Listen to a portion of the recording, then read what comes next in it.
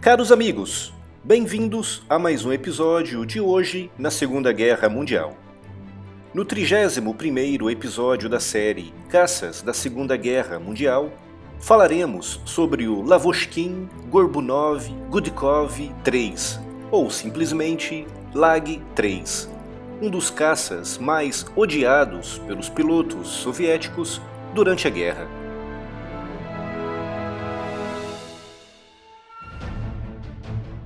O protótipo do aparelho foi desenhado pelo famoso projetista russo Semyon Lavochkin, que contou com a preciosa ajuda de Vladimir Gorbunov e Mikhail Gudkov.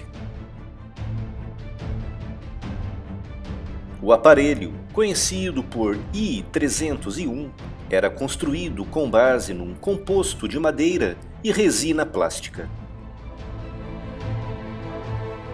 O processo consistia em cozinhar a elevadas temperaturas lâminas de madeira impregnadas com uma resina plástica especial, resultando em placas com uma impressionante força elástica. Outra característica positiva é que os laminados de madeira não se incendiavam.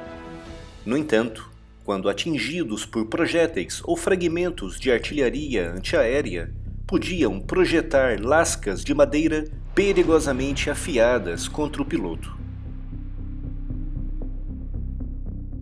As asas também eram construídas em madeira, cobertas com finas placas de madeira compensada. Tanta madeira resultou num aparelho bastante pesado um problema que a equipe de Lavochkin pretendia contornar com a utilização do poderoso motor Klimov M106. No entanto, nessa época o M106 apresentava ainda muitos problemas mecânicos, obrigando a equipe a utilizar o fraco motor M105P. Por ter bem menos potência do que o M106, o resultado foi um avião lento, com uma velocidade máxima de apenas 575 km por hora e uma taxa de subida miserável. Para compensar, os engenheiros tentaram reduzir o peso do aparelho retirando uma das metralhadoras, reduzindo seu armamento para um canhão de 20 mm e uma metralhadora Berezin de 12.7 mm. Mas não foi o suficiente e essa alteração contribuiu apenas para deixar o aparelho bastante subarmado, levando os engenheiros a voltarem atrás nessa decisão, armando-o com duas metralhadoras e um canhão, podendo ainda transportar 200 kg em foguetes, tipicamente seis, debaixo das asas.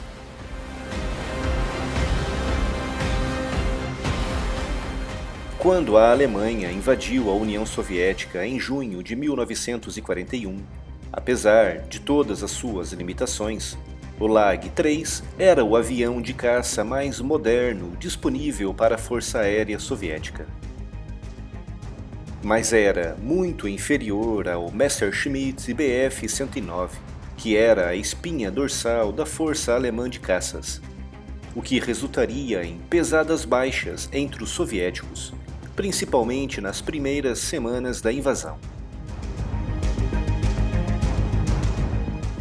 Na segunda metade de 1941, o aparelho recebeu uma série de melhorias, tanto na sua aerodinâmica como no seu motor, mas continuava apresentando uma performance relativamente baixa em comparação com os caças alemães da época.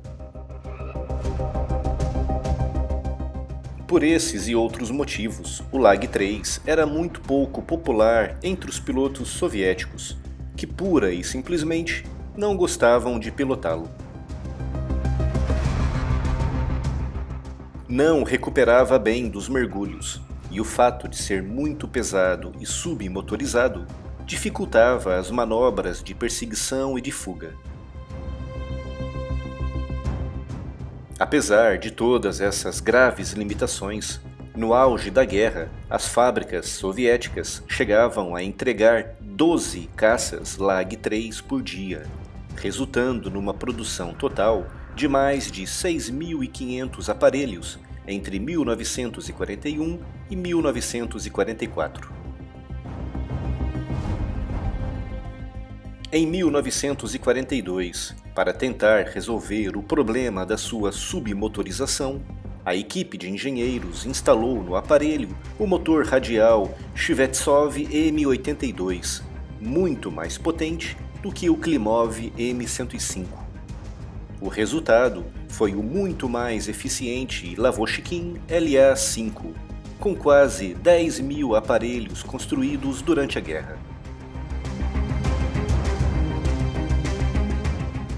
O Lag 3, apesar de claramente inferior aos caças alemães da época, foi muito importante para o desenvolvimento aeronáutico soviético durante a guerra, servindo de base para a criação de caças muito mais modernos e eficientes.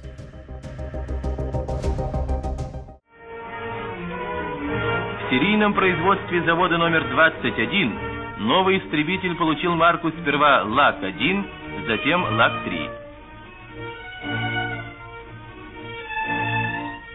На одноместном истребителе-моноплане ЛАК-3 был установлен мотор М-105П. Самолет имеет две огневых точки, одну пушку «Швак» и один пулемет «Березина».